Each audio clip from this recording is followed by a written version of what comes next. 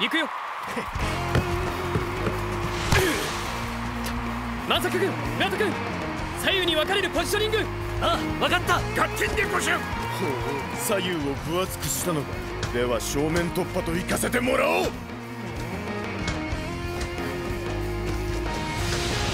俺が食らう。野獣の扱いには慣れてるよ。野坂反撃するよ。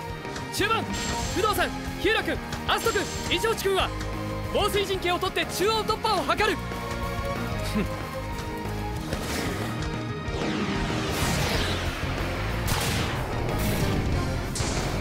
王者のタクト。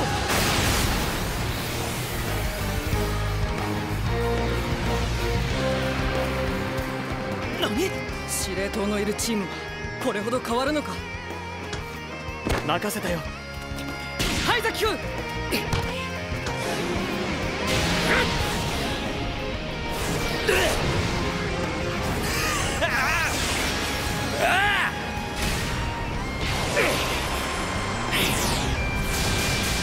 ンギンズゴッド！アンドデビル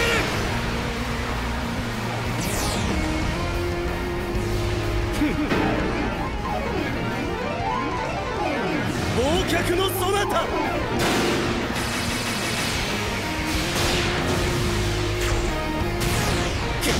1オクターブ高い。